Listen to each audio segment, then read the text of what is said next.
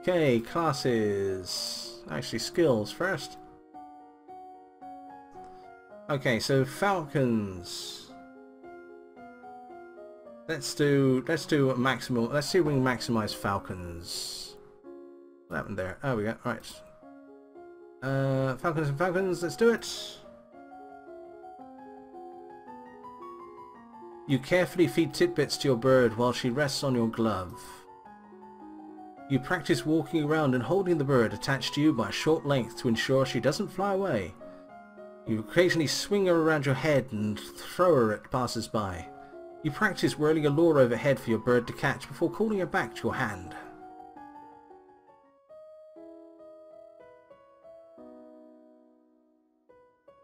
Right, guys, if you say I'm going to need a hundred falcons, and I'm going to do a hundred falcons, okay? Make your minds up.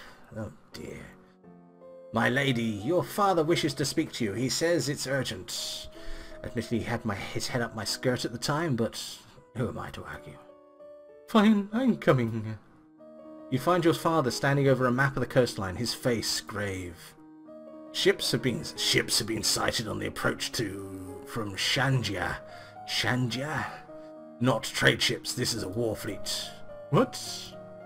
Within a week they will be in Novan waters. Within two they could reach the capital. Then we will fight to defend ourselves. You can try to use the treasury funds to hire additional soldiers, but it may be difficult at short notice. Uh, so, should we recruit soldiers or not? I don't know what you guys are talking about. I got bored with that conversation and we moved on. So, we going to recruit soldiers or not?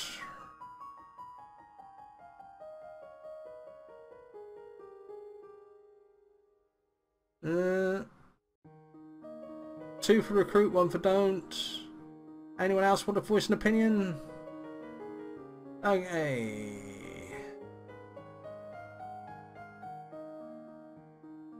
Um.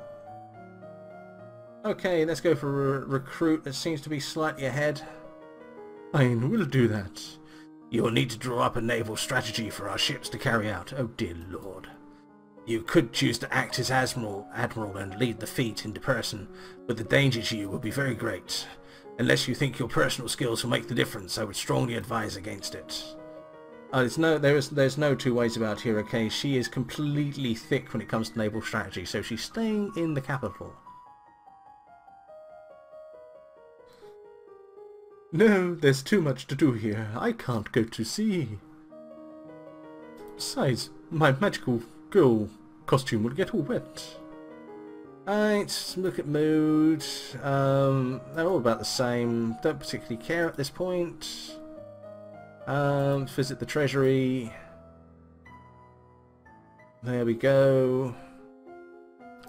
Classes, actually skills. Do we actually need anything of this lot? And um, otherwise, I'm just going to pick two at random. I think we're at the end of the game here. We're also about quarter an hour over, so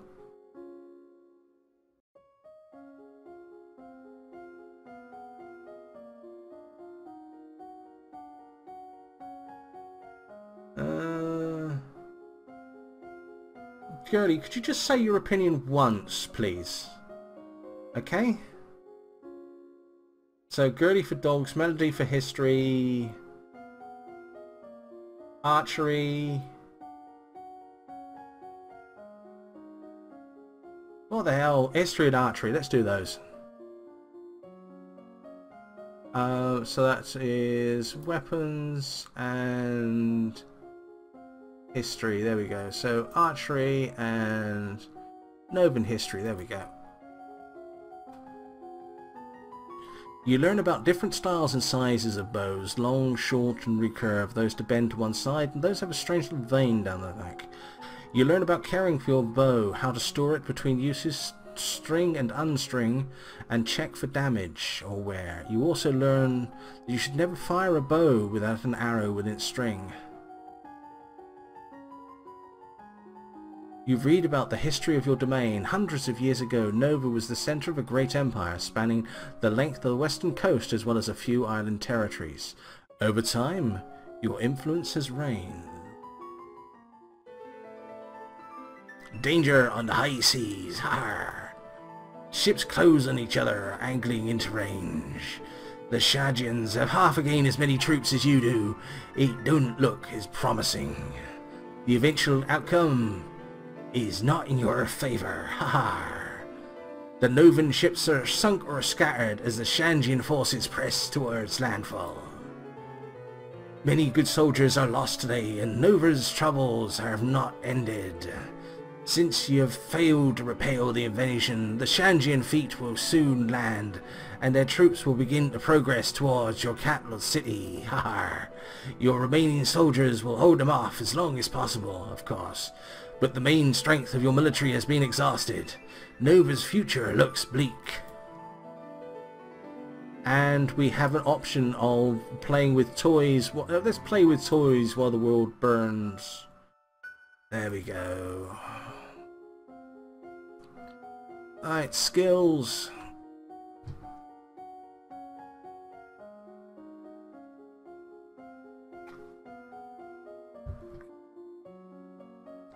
Simon's such a loser, except for pilot voices. and that be half the battle. It be ha Okay, is there anything actually useful in the upcoming thing? We've maxed out magic, and we've maxed out swords, and... Um you know what? Let's do a bit of presence or something like that. And, um, dogs. Let's do presence and dogs. There we go. Just for a bit of a nostalgia trip. Yeah, because... There we go. Presence and dogs. Whatever you pick is wrong. Thank you, Fat Frog. You practice on watching people and willing them to feel your gaze on them. Inevitably, they will be drawn towards you. You train your dog to search for hidden treats, items, and people. You go for walks with your dog in the woods and invite him to fetch anything interesting that he can find. The invasion of Nova is proceeding. Your coastline is under Shanjian control. Soldiers have marched through villages, trampling fields and frightening citizens. Occasionally frightening fields and trampling citizens. A diplomatic delegation from Shanjia has requested access to the castle to discuss terms, most likely for your surrender. You lack the strength to hold off their armies and surrendering now will save many lives. It seems that you have no choice.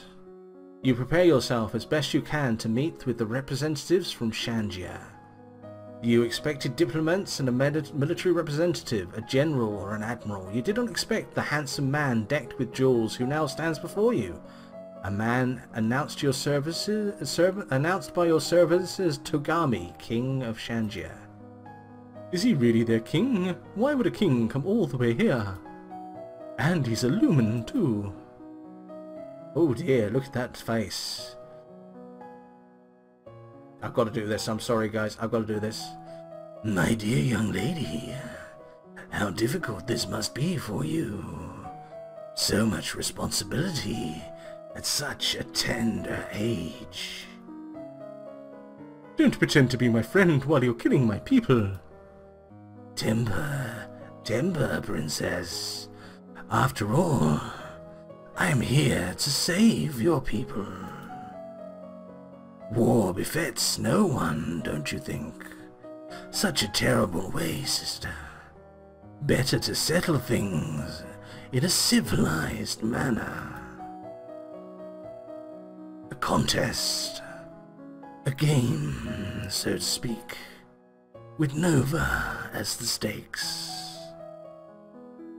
Should I win, then your domain will submit and accept me as overlord with no further resistance.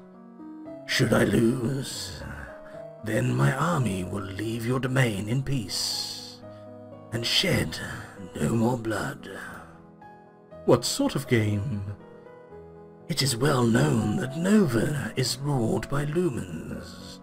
As it happens, I too possess the powers of Lumen and a certain tattoo on my left buttock. Hmm. I propose a formal duel. My powers against yours. The winner takes control of Nova. The loser dies. Your game by your rules for my life? That doesn't seem fair to me. The rules of formal dueling have been passed down for centuries and must be upheld. It is important we do this by the ancient codes. Why should I? If you refuse, then the war will continue. I'll sweeten the deal. If you meet me in a formal Lumen challenge, I'll call off the invasion, even if I win. Really? I swear it by the gods. Nova will be free and safe. Why take that risk? You're winning the war. It's not your land that I want. It's your crystal.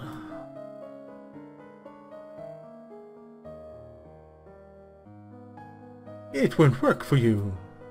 How little you know. Under the right circumstances, residence can be changed. To gain your power, I am willing to wager my own. Shall we begin? I can sense his power. It's so strong and throbbing. I've learned everything I possibly could, but he's at least as good as I am.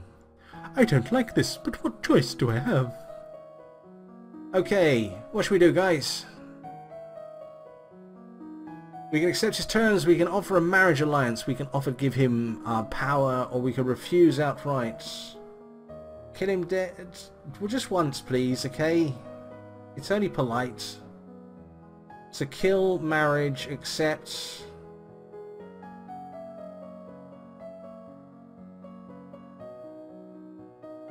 Um, I think everyone's going towards a little bit towards kill. Let's do kill. Accept his terms. Then I must. Tagami explains the rules of formal dueling to you, including a carefully inscribed circle of wards which will contain the effects of any powers you wield, protecting bystanders from danger. Then, uh, it's time to begin. Ooh, Ooh, nice effects. You trade attacks, one spell sensed and countered by another, reserving your strength as much as possible. It might almost be exciting if your life wasn't on the line. Sense magic success, yes. You need to end this quickly before his experience allows him to come up with a trick you can't defeat. He's used to dealing with magical attacks. He might not be used to expecting a physical one. Perhaps if you rushed him, but could you take him off guard? Up close he couldn't use his fancy spells, but what would you do then? You still have to use magic to win. You can't just grab him and kiss him. No, you can't just grab him and bang his head against the floor. Perhaps you could focus your power into the shape of a sword and attack him with that. Or maybe, if you distract him somehow, you could cast a spell that he couldn't block. Okay guys, Magic Sword or Dazzle? Magic Sword or Dazzle? The sword, Simon! The sword! Sword! Sword! Sword! Sword! Car! Sword! Sword! Ah! Sword!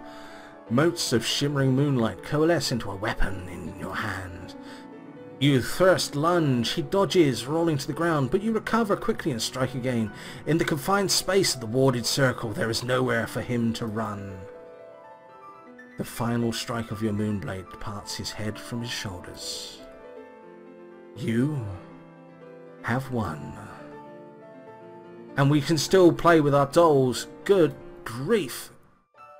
You spend the week holed up alone in your room with your favourite toys. It's childish, but you feel better. Is this game not over?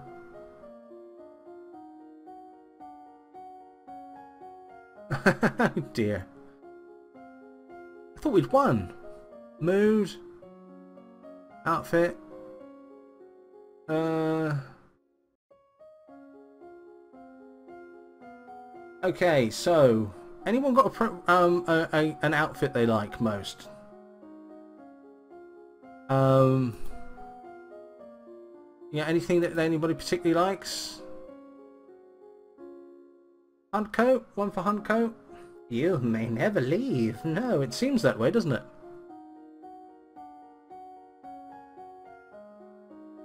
Alright, so two for Hunt Coat, two for Magical Girl.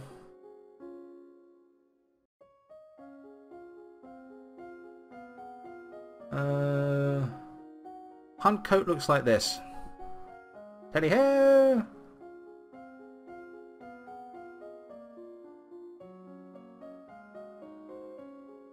I'm slightly leaning towards Magical Girl, so let's do the Magical Girl one. There we go. I've no idea. It's probably the pervert in me, but there you have it. Alright. Okay.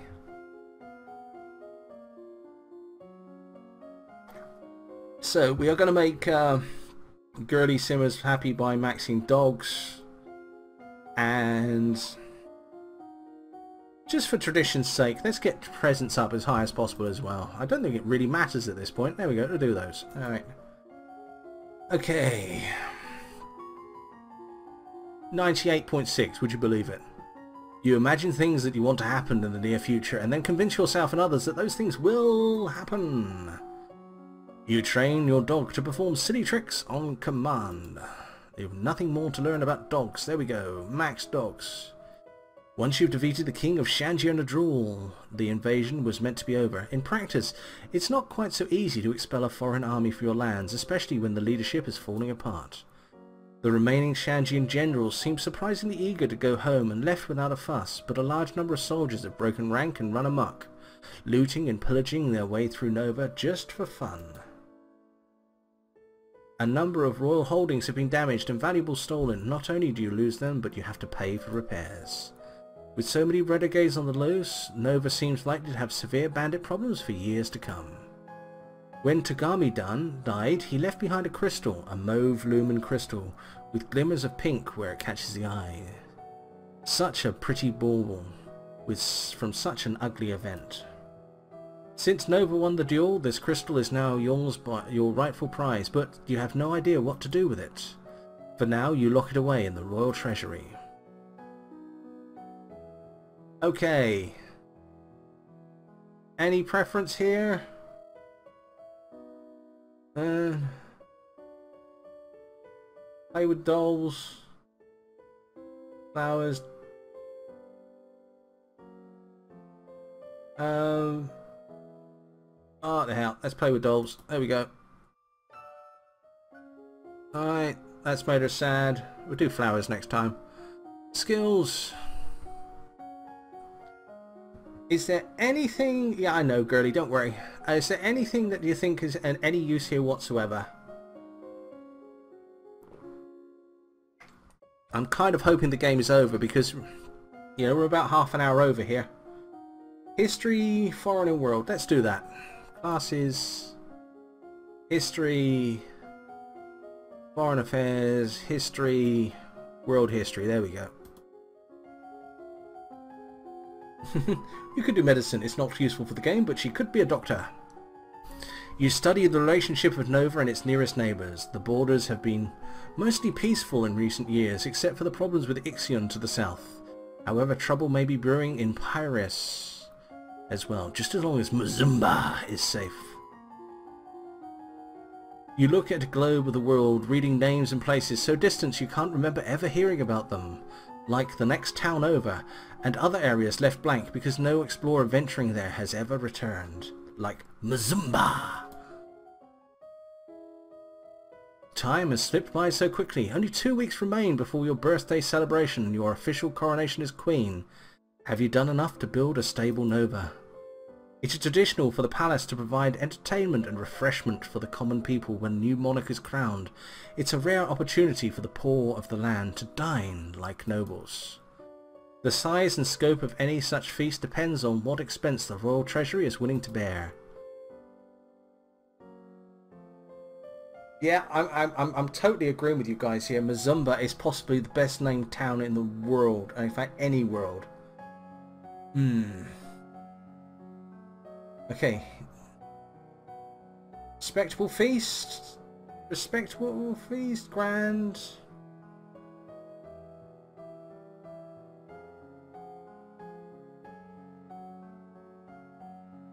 Okay, so... Okay, I think they're slightly more respectable than anything else. Let's go for that one. I'm sure we can afford to give everyone in the city some bread and sausage and a bit of cake. Uh...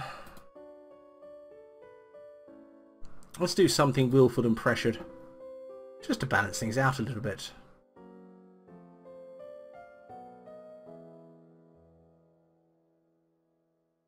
I'll do that one. There we go.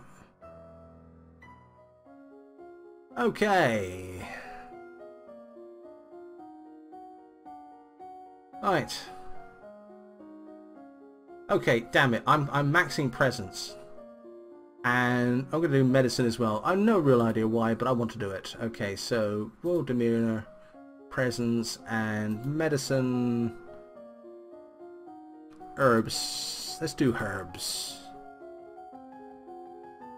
You organise a group of castle staff and coach them through carrying out a complicated multi-stage task. Nothing more to learn about Presence. Oh, I did read that one, sorry. Mm-hmm. The castle is buzzing with preparations for your upcoming coronation. Ministers press you with details for your favourite colours and flowers and so on. no, we can't rename Iris, but I, I have an idea for a build that I want to do on Iris, and I'm getting the feeling it's going to be called Mazumba now. You really can't see the point of wasting time worrying about decorations when there's so much else to worry about. Others are more interested in the subject of your marriage. But you think boys are icky. Whoever you, whoever you decide to marry will be elevated to the highest ranks of nobility, which could mean a major shift in the balance of power. Therefore, everyone is talking about the COP candidates, even though you're under no obligation to marry so young. So young is probably relieved. Talaris, the Duke of Sedna, is one option. Certainly expressed interest in marrying you earlier. Your union would be would bring stronger ties to the, day, the domain of Tallahassee and improve the situation along the Elath border. Then there's Banyan, the Duke of Marie, a powerful and eligible noble who's only about 10 years older than you. Then there's Kevin, the Earl of Io. Although he's only an earl, his family connections could make him a politically useful. Then there's Adair, the eventual Duke of Elath. Though at 12 he's only a child. She's only 14. I mean, come on. At least he's almost old enough to understand the concept of romance, and some people think you ought to marry Gwenelle's half-brother Ansiet, who hasn't even turned nine yet. There's only two or three minor earls around the age of 20 who might be passable alternatives, and of course, you could decide to ignore noble traditions entirely and marry a commoner, if you were prepared to deal with the uproar. While you need to marry it eventually, you're still very young. You could put this decision off until later. However, a clear succession contributes to the stability of your domain. Are you leaning towards any option? Right, go on and you guys pick. You guys pick. Banyan. Banyan. Adair. Nah, a bit late's not an option.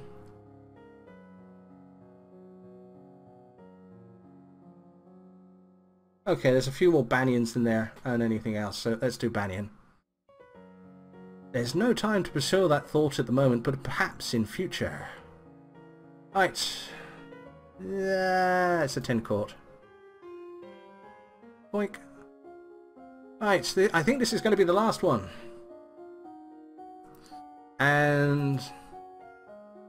Tell you what, let's do a fallback career. Let's do a couple of lessons in medicine.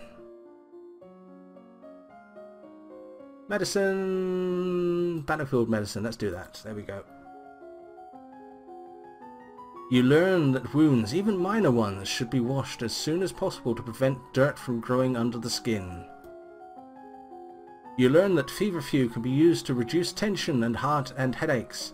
You learn that oil of clothes rubbed on the skin can relieve pain, particularly in teeth. At this time last year you were celebrating your 14th birthday. You were in the school garden surrounded by your friends. A teacher brought you tea and cakes while a wealthy merchant's son wove a crown of flowers for your head. It didn't matter so much that you were a princess then, your title was something for the future. Maybe your peers would be duchesses or earls or the like someday, but not then. You were children. Your parents could not attend on that actual day, but they did send you wonderful gifts for you, some for you and some for you to share.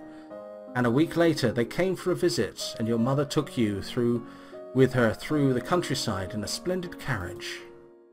It was the last time you would ever see her. You wonder if, wherever she is, she can see you now. You are 15 years old, a legal adult. You have worked and studied and suffered and prepared, and now the time has come. You kneel before the priestess, barely hearing her words as she recites the blessings. She calls upon the gods to deliver peace, wisdom and prosperity to you, and through you, to all of Nova. And then she calls upon you for your oath of rulership. Will you guide and govern and protect the people to the best of your ability, according to law and custom? I will. Will you, to the best of your power, uphold the ideals of love, honor, justice, and mercy? I will. Now get on with this. This no, I won't be the first person's head I've cut off. Lords and ladies assembled, I present to you your undoubted queen, who has sworn you her loyalty. Who will come and give homage? Will you do the same? You, you, who, who, who, you who have come to give homage, will you do the same? One at a time, the head of each duchy approaches your throne and kneels to swear his or her service to you and to your heirs. People of Nova, I give to you Elodie, daughter of Fidelia, your true sovereign. What say you all? Long live the Queen! Long live the Queen! Long live the Queen! Sod off the Queen! Thank you, I will. I'm starting off straight away.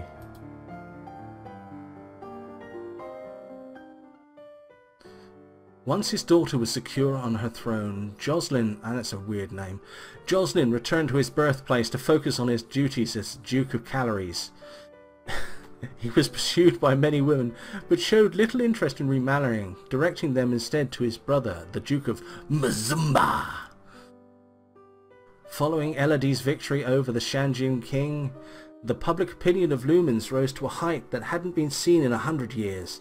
Young children would dress up and play at being magical kings and queens. Mazumba! Freed from the need for secrecy, the Duchess Juliana and the Priestess Celine were able to announce their shared magical powers and their love. At Elodie's prompting, the lovers pledged their devotion to each other in a private ceremony, after which Selina retired from the priesthood to accompany her wife to Ursel.